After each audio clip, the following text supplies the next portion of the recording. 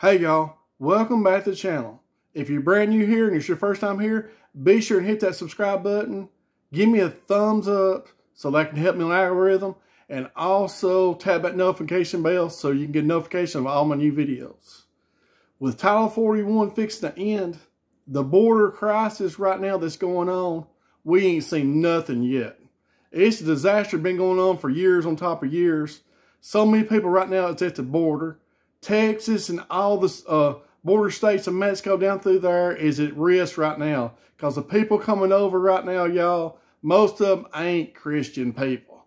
Most of them that's coming across right now and everything, not all of them, but a lot of them is not being brought up like we have with our cultures, believing in God. A lot of them is coming across is coming from one reason. Free money, free housing, and help destroy this country even more. It's a set up deal.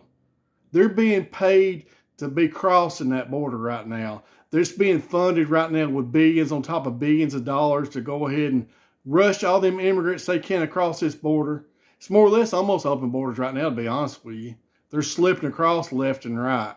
It could be fixed, but they don't want to fix it. The people in control want them to go ahead and come across and finish this country off. It's just the way it is. So right now, everybody in border states, y'all be as safe as you can. Because I've been seeing videos how people securing their residence and stuff. And it's amazing how many people is coming through right there through their locations and how much in danger they are.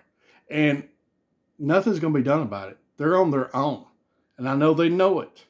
Shouldn't be like that, but it is.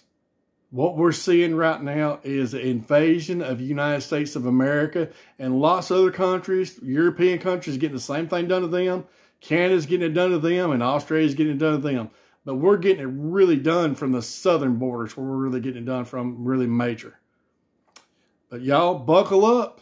We're seeing all go down this country right now for what's coming ahead. We need to be prepared as good as we can. And that's all we can do. So y'all keep on prepping. See you next video.